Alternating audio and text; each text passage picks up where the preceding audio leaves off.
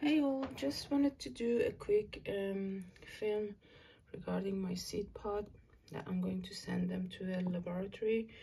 I decided to send them to the laboratory because of few reasons, personal reasons. So I'll be uh, cutting them off today and sending them off. As you can see, uh, they're almost dry. Um, I have three seed pod um, two of them are almost dry but this one is a bit green so I'm not sure about uh, if I'm gonna get any uh, viable seed from this but I'm gonna do them uh, I'm gonna send them all at once. So I'll be cutting them all. So this one is number three. I've uh, labeled for myself for my own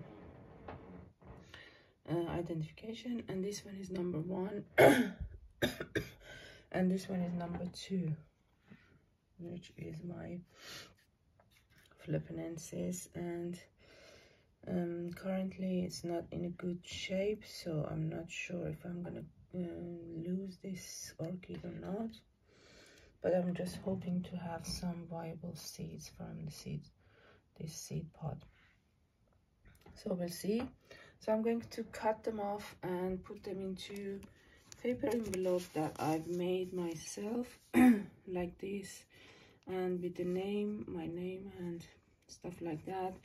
And then i'm going to put them into um envelope like that. Um i'll be uh, putting them inside this and wrap it probably with some of this wrap outside from outside just to protect them. And just sending them by first class post and we'll see what happens. I will update you if there was any viable uh, seed and uh, if i get any um, flask out of these. But currently this is their uh, situation so this one will be green. This is almost dry and this one is almost dry as well.